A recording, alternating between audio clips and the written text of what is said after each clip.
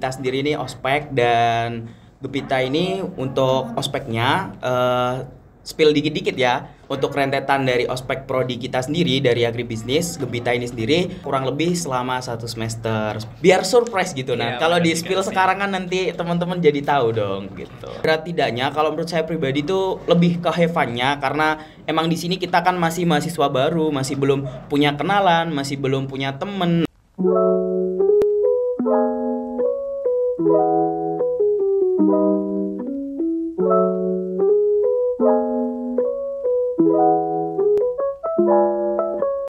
mahasiswa agribisnis, selamat pagi, selamat siang, selamat sore, dan selamat malam. Kembali lagi di Himagri Talk. Kali ini bersama aku, Nanda Hari Pramudia Mahasiswa agribisnis angkatan 2021 Udahlah cukup lama nih kita nggak ngobrol-ngobrol dan juga berjumpa di episode Talk. Nah, spesial di episode Talk kali ini kita akan membahas tentang gempita. Nah, pada pasti pada penasaran kan apa itu gempita, terutama buat mahasiswa baru agribisnis tahun 2023 pasti penasaran banget dengan apa itu gempita.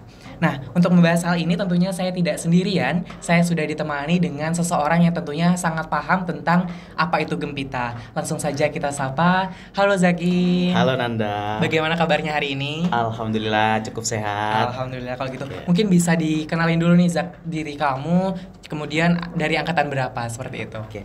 Uh, eh, halo semuanya, perkenalkan nama saya Zaki Amiruddin. Saya merupakan mahasiswa aktif dari Agribisnis angkatan 2021 cukup itu aja. Oke, jadi teman-teman, Zaki ini adalah penanggung jawab dari kegiatan Gempita pada tahun 2023 ini, gitu. Nah, oke teman-teman. Jadi langsung aja kita mulai tanya-tanyanya dari yang pertama nih. Apa sih Zak sebenarnya Gempita itu? Mungkin bisa diceritakan secara garis besarnya aja nih. Uh, buat Gempita sendiri itu sebenarnya merupakan ospek. Jadi uh, Gempita sendiri ini ospek dan Gempita ini untuk ospeknya uh, spill dikit-dikit ya. Untuk ospeknya sendiri ini Gempita merupakan ospek yang cukup panjang gitu nan. Jadi untuk rentetan dari ospek prodi kita sendiri dari agribisnis Gempita ini sendiri uh, untuk berjalannya kurang lebih selama satu semester seperti itu.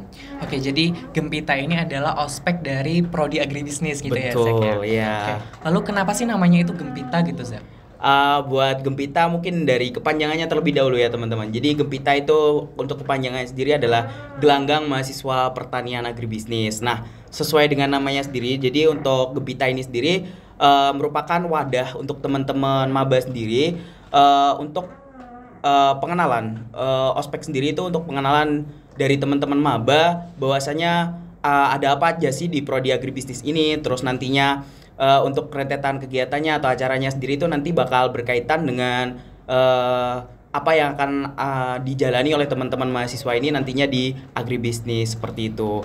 Jadi namanya sendiri Gelanggang Mahasiswa Pertanian Agribisnis. Oke, nah tadi kan sudah dijelaskan apa itu Gembita dan juga kenapa namanya Gembita. Betul. Lalu sebenarnya tujuan dari diadakannya Gembita ini apa sih, Zak? Untuk tujuannya sendiri tadi juga udah sempat di spill. Jadi untuk tujuannya sendiri ini merupakan ospek, ospek dari rentetan dan rentetan ini merupakan rentetan dari ospek uh, fakultas uh, dari Mabinwa AT yang nantinya akan dilanjutkan oleh prodi.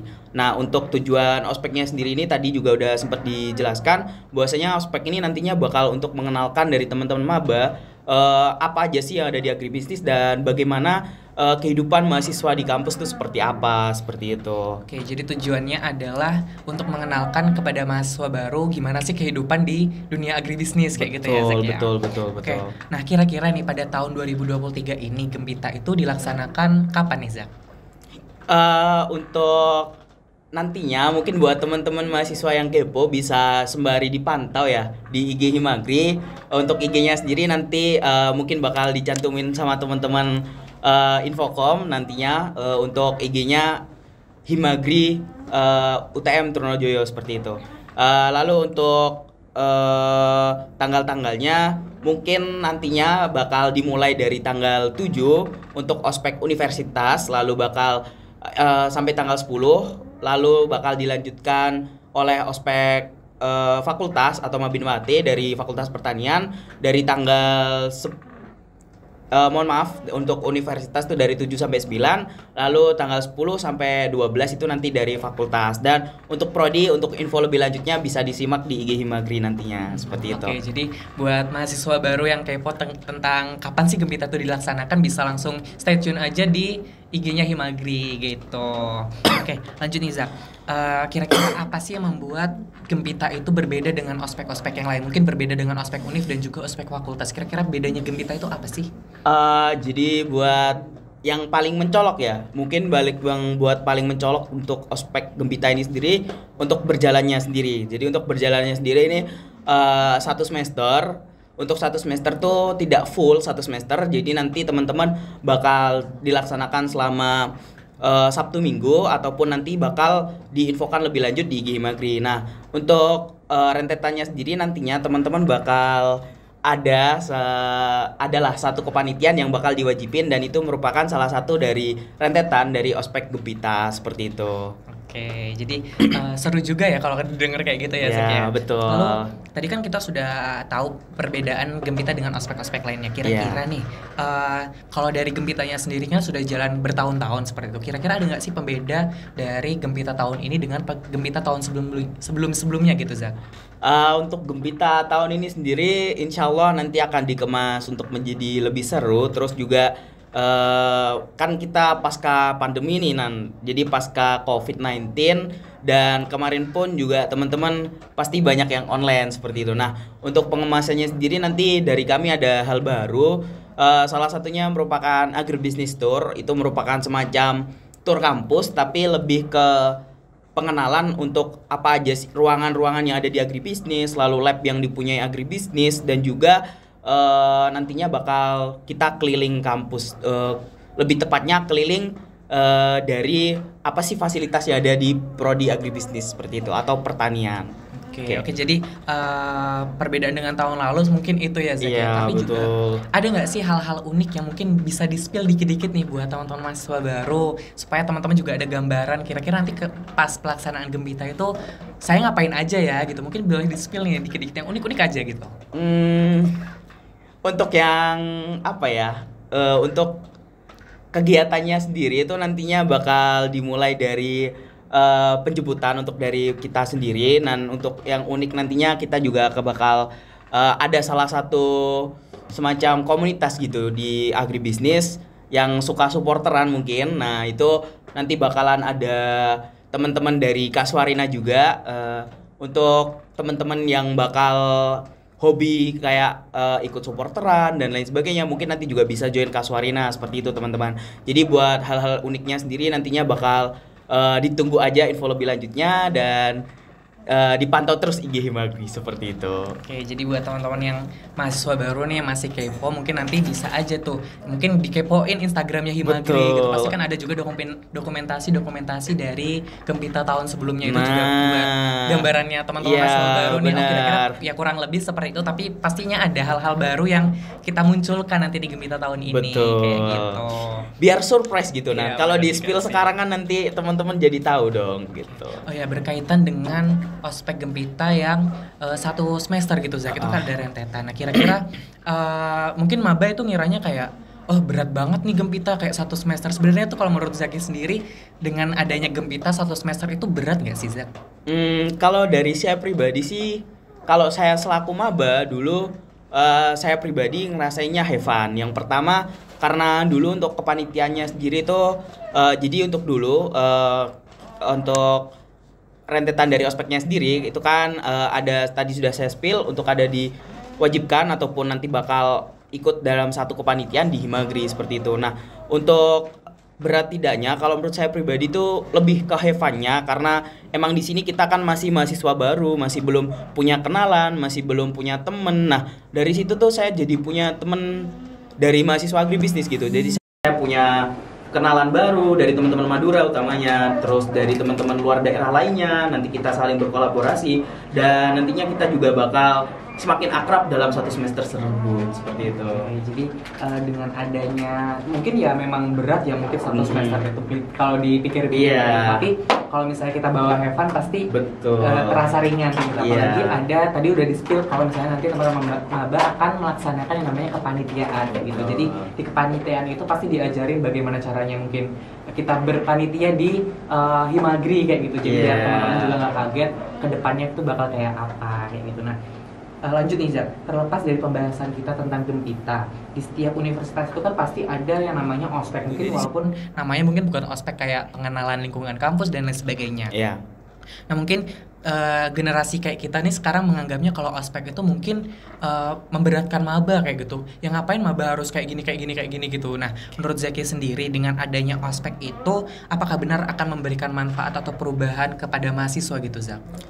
Oke, untuk ospek sendiri itu sebenarnya tergantung dari kita man- cara memandangnya bakal jadi manfaat atau bakal jadi eh eh, beban buat kita seperti itu. Nah, buat ospek sendiri itu sebenarnya eh, merupakan sebuah wadah menurut saya pribadi, wadah dari dari kita untuk kita eh, mahasiswa baru yang kita biasanya SMA masih teman-teman mungkin SMA masih dekat dengan orang tua, terus juga masih eh kalau tidur mungkin masih dibangunin sama orang tuanya, makan masih diingetin. Nah, nantinya teman-teman bakal gak kaget gitu karena nanti kita kan juga sebagai anak rantauan dan kita juga bakal jauh utamanya dari orang tua, keluarga dan sanak saudara kita. Nah, nantinya jadi kita emang perlulah perlu koneksi ataupun perlu teman nantinya kalau kita misal sakit di sini jadi kita tuh ada teman dari eh, teman-teman baik dari eh, apa yang kita kenal melalui ospek tersebut ataupun dari eh, acara yang kita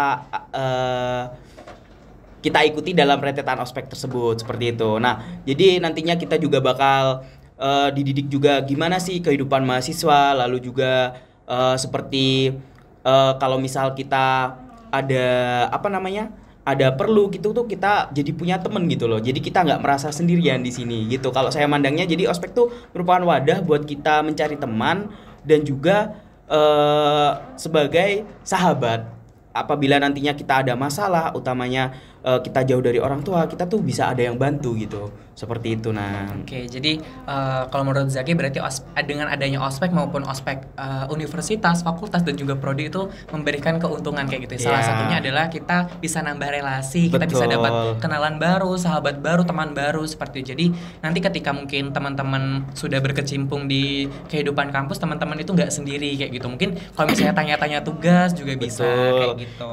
biasanya info tugas gitu Jadi teman-teman manfaatkan sekali ketika teman-teman bertemu dengan orang-orang baru pada saat ospek kayak gitu karena itu bakalan juga bisa memberikan uh, manfaat gitu ke diri Iya, kita sendiri betul, kayak betul. gitu. Nah mungkin ada tips nih dari Kak Zaki uh, buat teman-teman mahasiswa baru biar uh, ospeknya itu lancar mulai dari ospek univ, fakultas sampai ke prodi nih.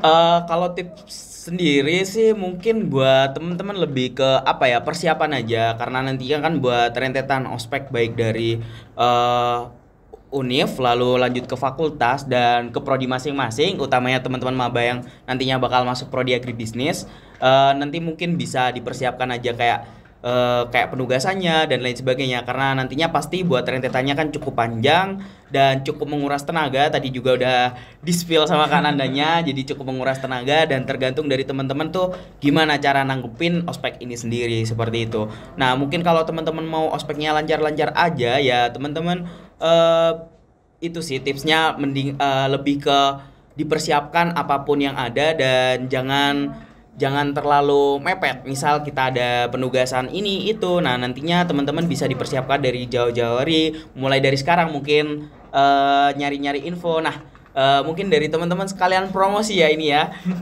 Iya, sekalian promosi ya. Kalau mungkin dari teman-teman mahasiswa agribisnis ada yang nonton dari ma dari maba, nantinya kalau perlu kebutuhan ospek juga nanti bisa hubungi dari teman-teman panitia Gempita. Nantinya bakal kami menjual beberapa kebutuhan ospek baik dari univ, fakultas maupun dari eh, ospek prodi sendiri seperti itu. Oke, jadi tips dari Kak Zaki itu adalah kerjakan penugasan yang diberikan dan kalau mengerjain penugasan itu jangan mepet-mepet gitu ya. Karena itu juga kalau menurut saya pribadi itu juga akan nanti berdampak ketika kita sudah mulai berkuliah, berkuliah seperti itu. Penugasan-penugasan dari dosen mungkin itu juga nggak jauh beda dari ospek gitu teman-teman. Jadi mungkin deadline-nya yang mepet. Jadi Ah. teman-teman juga harus pintar-pintar manage waktu. Kemudian teman-teman juga harus jaga kesehatan karena selain penugasan yang harus disiapkan juga mental dan juga fisik ya Betul. begitu karena kegiatannya mungkin akan padat sekali gitu ya dari univ fakultas sampai ke prodi Oke. gitu Oke, terakhir nih Zak, mungkin bi- eh, Zaki bisa ngasih closing statement nih. Mungkin bisa eh, biar teman-teman mahasiswa baru ini tambah semangat gitu ospeknya. Eh, pesan aja sih buat teman-teman yang mungkin nantinya bakal menonton video ini eh, kalau teman-teman eh, jenuh ingat aja kalau misal lagi ospek gitu ya. Eh, bahwasanya eh, ospek ini merupakan wadah dari teman-teman buat teman-teman nih s- gimana sih kehidupan mahasiswa? Dan kalau saya pribadi itu mungkin eh, lebih ke kalau saya sendiri jenuh mungkin saya lebih larinya cari teman, cari teman dalam artian nanti kita bisa kumpul entah ngopi bareng sama teman-teman maba yang lain, seperti itu diskusi santai dan juga eh, kalau memang teman-teman lagi misal jenuh ospek tuh eh, bisa juga eh, teman-teman nginget tuh kan untuk ospek ini sendiri kan rentetannya ataupun kegiatannya lebih ke kayak pengenalan dari teman-teman bahwasanya kehidupan kampus tuh seperti ini. Nah, jadi nanti teman-teman tuh bisa eh, nginget, oh saya ini ternyata sekarang udah dewasa dan saya ini udah jauh dari orang tua gitu. Jadi saya ini harus bisa hidup mandiri, gitu. seperti itu. Oke, jadi eh, kata-kata semangat dari Kak Zaki itu ya jangan dianggap ospek ini kayak yang ngapain ada ospek gitu. Jadi ospek ini sebenarnya memberikan manfaat kayak gitu ya. Mungkin dari pengenalan kehidupan kampusnya kayak apa, nanti jadi mahasiswa itu kayak apa. Jadi teman-teman diharapkan untuk mahasiswa baru eh, untuk mengikuti ospek ini dengan sungguh-sungguh gitu karena akan memberikan sangat banyak sekali manfaat ya. kayak Betul, gitu. betul, betul. Oke. Teman-teman mungkin cukup itu aja yang bisa kita bahas eh, di podcast kali ini. Eh, semoga apa yang sudah disampaikan oleh Kak Zaki tadi bisa memberikan gambaran ke teman-teman mahasiswa baru agribisnis tentang Gembita itu seperti apa. Hmm, terus buat teman-teman yang mungkin yang masih kepo Gembita itu kayak apa bisa komen di kolom komentar. Terima kasih Zaki, terima, Terima kasih, kasih, juga teman-teman yang sudah nonton sampai akhir video. Saya Nanda Hari Pramudia dan segenap tim Himagri Talk yang bertugas pamit undur diri. Sampai jumpa di segmen selanjutnya. See you.